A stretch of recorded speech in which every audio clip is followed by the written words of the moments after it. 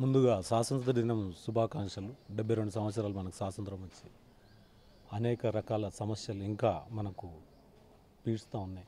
ఎక్కడ చూసినా శ్రీకాకుళం నుంచి తీసుకుంటే ఆదిలాబాద్ దాకా ఇందాక మన అధ్యక్షులు శ్రీ పవన్ కళ్యాణ్ గారు చెప్పినట్టు ఆ సమస్యల మీద పోరాటం చేయడానికి జనసేన యోధుడు పవన్ కళ్యాణ్ గారు నడుం బిగించి ఈరోజు ఇచ్చాపురం నుంచి కర్నూలు కడప నుంచి అనంతపూర్ నుంచి అదేవిధంగా నెల్లూరు చిత్తూరు ప్రతి జిల్లాలో ఆయన సమస్యల మీద పోరాటం చేస్తుండు.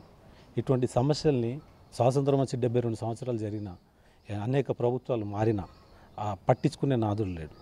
మనం గ్రహించవలసింది ఏంటంటే జనసేన అధ్యక్షుడు అటు పాలక పక్షాన్ని ఇటు ప్రతిపక్షం చేయని పనులు ఈయన ప్రజల పక్షం ఉండి అనేక సమస్యల మీద పోరాటం చేస్తున్న వ్యక్తి ఏకైక వ్యక్తి జనసేన అధ్యక్షుడు శ్రీ పవన్ కళ్యాణ్ గారు.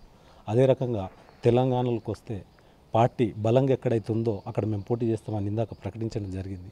అదే రకంగా రాబోయే రోజుల్లో కూడా మేము తెలంగాణలో పార్టీ బలోపేతం చేస్తామని మనస్ఫూర్తిగా కోరుకుంటూ మరొకసారి స్వాతంత్ర దినం శుభాకాంక్షలు తెలియజేస్తూ జై హింద్ జై Bharat.